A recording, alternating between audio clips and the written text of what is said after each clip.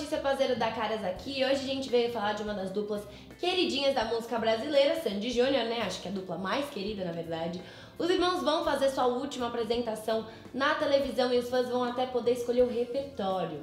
É super triste que é a última apresentação, né? Mas super legal essa possibilidade de escolher suas músicas favoritas, né? O que, que vocês acharam? Mas e aí, querem saber mais detalhes dessa história toda aqui que tá acontecendo? Então fica aqui com a gente, nós vamos contar. depois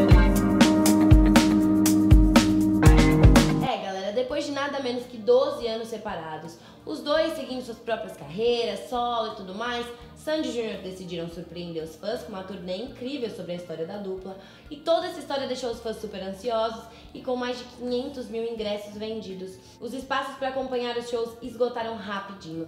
A turnê teve início lá atrás, no dia 12 de julho, em Recife, Pernambuco, e desde então, com uma estrutura muito impressionante mesmo, os dois viajaram ao redor do Brasil, Estados Unidos e até Portugal. Na rota Nossa História, os irmãos entraram na lista das maiores turnês brasileiras. E foi super merecido mesmo, né? Vocês conseguiram assistir algum dos shows ou foi que nem eu que não conseguiu ingresso, ficou muito triste do lado de fora?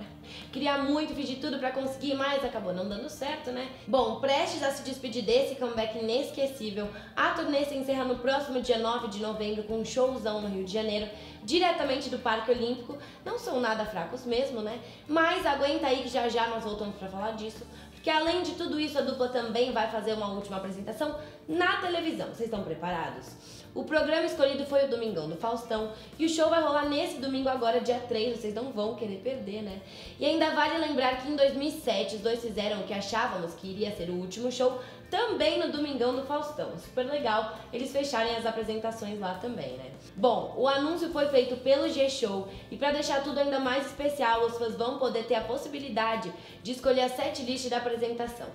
Os cinco hits mais votados vão ser apresentados. Gente, que demais, né? Eu já vou correr pra votar. O que vocês acharam e quais seriam as cinco músicas que vocês pediriam, hein? Eu já sei as minhas, né? E bom, já que falamos do último show da dupla também, vocês viram que vai até ganhar um especial na televisão? Para os fãs não ficarem tristes que nem eu e poderem se sentir um pouquinho mais perto dos ídolos, o último espetáculo vai ser gravado todinho e vai virar um especial da Globoplay.